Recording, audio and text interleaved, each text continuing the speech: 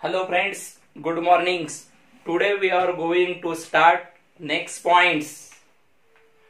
जो आपको आज पॉइंट देखना है internal energy is a state function internal energy का स्टेट फ़ंक्शन क्यों है ये आपको देखना है because in the last lecture we have discuss the properties of the what internal energy वहाँ पे मैंने आपको बताया था प्रॉपर्टीज़ में internal energy is a state function फिर वो स्टेट फ़ंक्शन क्यों है, आपको डिटेल क्या करना है एक्सप्लेनेशन करना है? First of all give the heading internal energy is a state function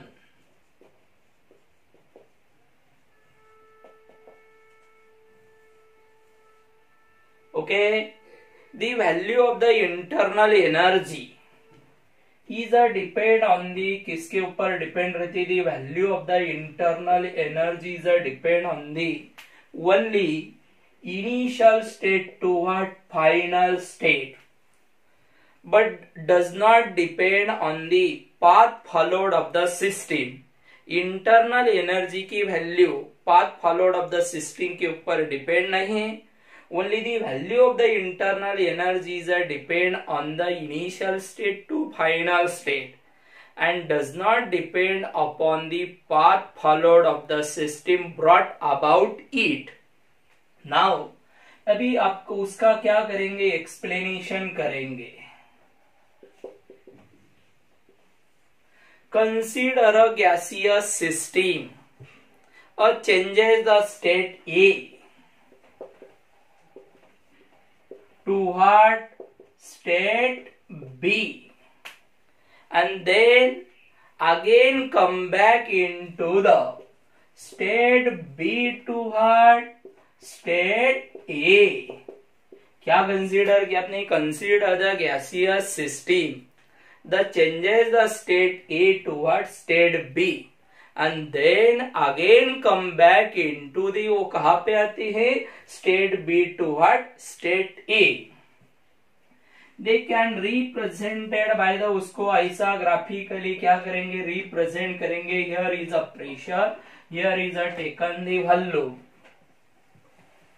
देखिए दैट इज़ द यहाँ पे लेना है स्टेट ए यहाँ पे state B it's variable is a P one V one U one और यहाँ के वेरिएबल है P2, V2, U2, U two that is thus that is a change in internal energy U and here is a what path second internal energy delta U dash okay now let अभी क्या करेंगे? Let delta u is the change in internal energy when are the going to the system is a going to the what state a to कहा पे जाती है state b मैंने क्या कहा है let delta U is the change in internal energy when they are going to state A to what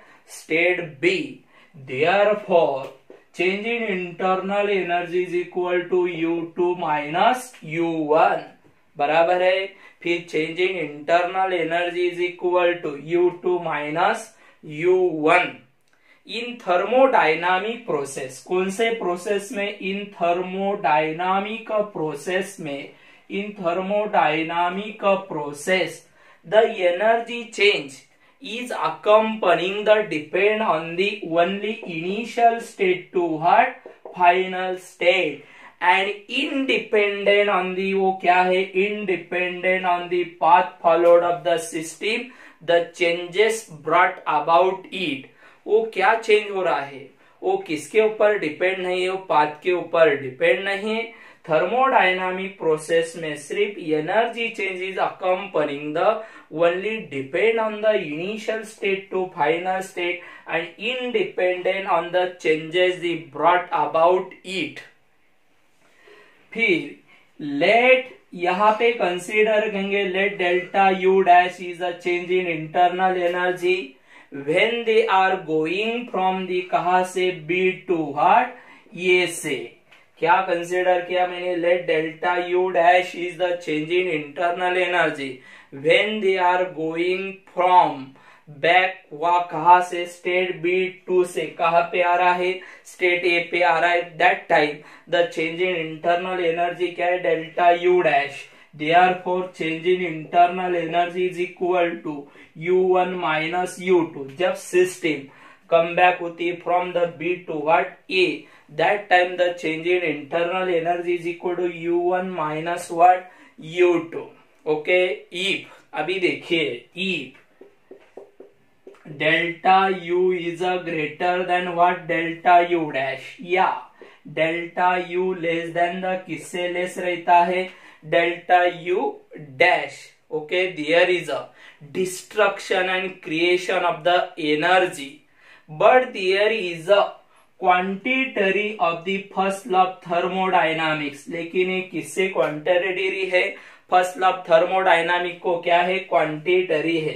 क्योंकि यहाँ पे delta U is greater than delta U dash या delta U less than what delta U dash there is a quantity of the first law of thermodynamics we know that first law of thermodynamics क्या है?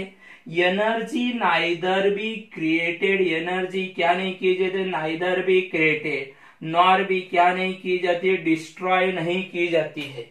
Energy neither be created nor be destroyed therefore फिर वहाँ पे internal energy delta U is equal to किसको equal रहेगा? Delta U is equal to किसको equal रहता है?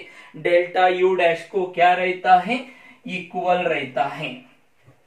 द मैग्नीट्यूड ऑफ़ द किसका magnitude the magnitude of the delta u and delta u dash the magnitude of the delta u and delta u dash is the दोनों का magnitude कैसा है? Same है।